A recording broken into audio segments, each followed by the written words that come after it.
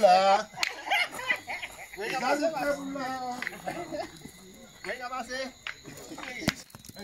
Bon.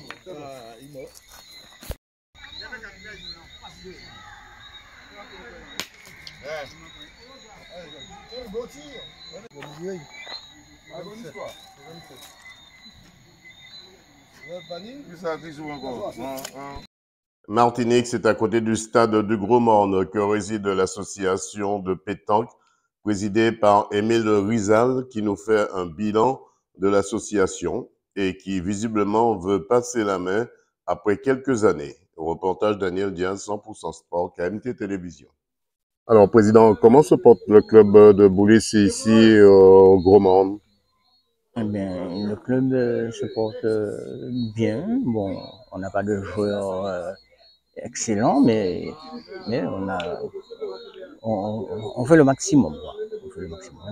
Depuis la dernière fois, ça a augmenté, il y a eu beaucoup plus de participants, beaucoup plus de membres.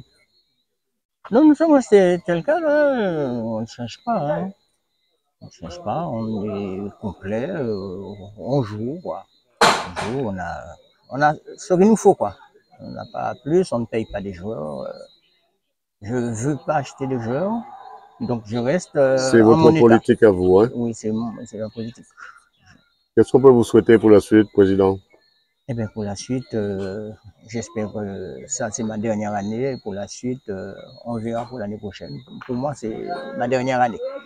100% Sport vous remercie. Merci.